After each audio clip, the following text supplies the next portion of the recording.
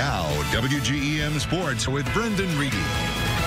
You couldn't ask for a better weekend for high school sports. Sun was out and the excitement of postseason baseball was in the air. We start off our trip across the Tri-States tonight with a trip to Quincy Notre Dame. That's where the Raiders looking to capture the IHSA Class 2A Regional Championship against the Pittsfield Saukees. A couple of QND fans bringing the energy from the parking lot. Raiders with the bases loaded in the bottom of the fourth. Jack Linenfelser sends this one back to Brennan Tomei, and he turns the double play all by himself to get out of the jam.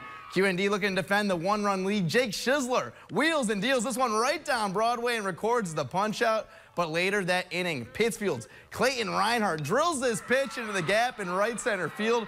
Justin Pennock would come in to score for the Saukees, and we're all knotted up at one.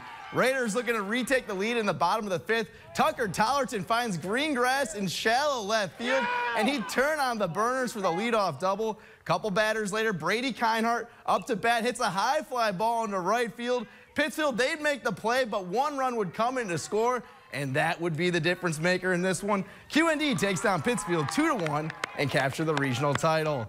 Camp Point was also in action earlier today trying to lock up a regional championship. The offense came out firing for the Panthers, but would come to a halt thanks to a nice diving catch in right field by Rockets' Jace Laudeman, laying his body on the line to keep the score tied at zero. Camp Point looking to keep the game scoreless. Carter Eiler was magnificent on the mound all day long. He fans the Routt better to retire the side. It was a defensive battle the rest of the way, but in the end, Routt would walk it off and defeat Camp Point 2 to 1.